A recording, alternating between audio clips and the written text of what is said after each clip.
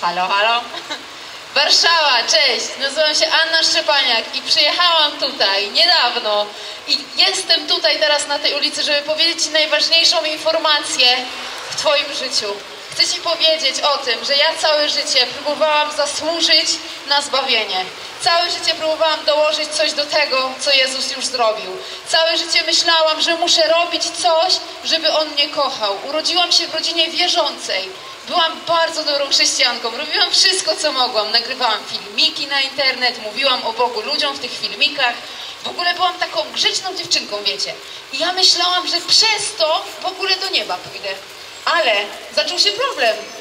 Kiedy upadałam w jakichś rzeczach, to nagle myślałam, o nie, idę do piekła. Teraz Bóg mnie nie kocha, teraz już Jego przebaczenia dla mnie nie ma, koniec świata. Idę do piekła, jestem potępiona. I wiecie co, dwa lata temu poznałam Jezusa z zupełnie innej strony. Poznałam Jezusa, który uczynił pokój między człowiekiem i sobą przez to, że oddał życie swoje za nas. Przebaczył nasze grzechy. On wchłonął w siebie całą chorobę. On dzisiaj dalej uzdrawia. On uwalnia. On niesie w ogóle nas przez życie, kiedy my w Niego wierzymy i uwalniamy wiarę w Niego. To jest Bóg, który ze względu na swoje imię po prostu chce mieć Ciebie ze sobą. On chce iść z Tobą za rękę przez życie. Jezus Chrystus żyje. On nie umarł. On wróci tutaj po nas. On po nas tutaj wróci. Jestem osobą, która doświadczyła uzdrowienia i uwolnienia na własnym ciele, na własnej duszy. Człowieku, nie potrafisz sam. Nie zrobisz nic sam. Nie próbuj sam, bo nie musisz.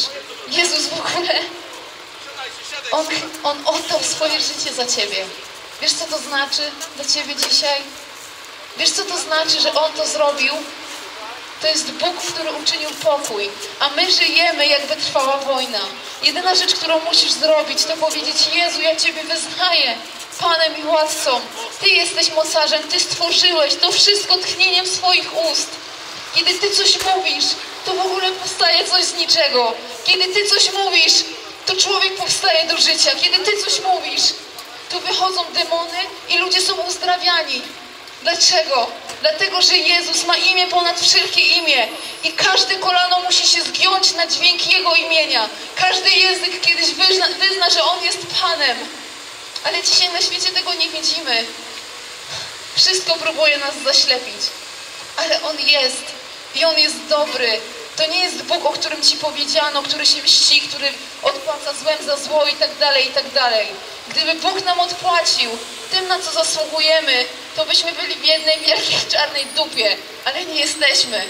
Znaczy, może jesteś, jeżeli nigdy do Niego nie zawołałeś, ale możesz do Niego zawołać i w ogóle połączyć się w swoim duchu z Nim i zrób to, bo masz martwego ducha, masz ducha w sobie, w ogóle masz taką przestrzeń, która się musi połączyć z Bogiem i pozwól na to. Zawołaj do Niego sercem, Jezu, ja chcę z Tobą od dzisiaj. I On Cię nauczy być ze sobą. On chce Twojego uzdrowienia. Słucham? Uzdrowienia. Z czego znam uzdrowienia? Ja osobiście z alergii. Osobiście z alergii, z artretyzmu zaczynającego się w rękach i tak dalej. Ale tutaj, nie, nie, nie, nie, nie. E, także przejdę sobie tutaj. Kochani, Jezus to jest imię ponad wszelkie imię. On ma moc i On żyje. To nie jest człowiek, który został zabity. On zmartwychwstał. On zmartwychwstał. I On chce w ogóle życia dla Ciebie. To życie tutaj to nie jest życie. Żyjesz z dnia na dzień. W ogóle cały czas Twoje serce jest łamane. Czułaś od zawsze, że On jest. Od zawsze czułaś, że On w ogóle musi być, ale nigdy Go nie poznałaś. Miałaś sny.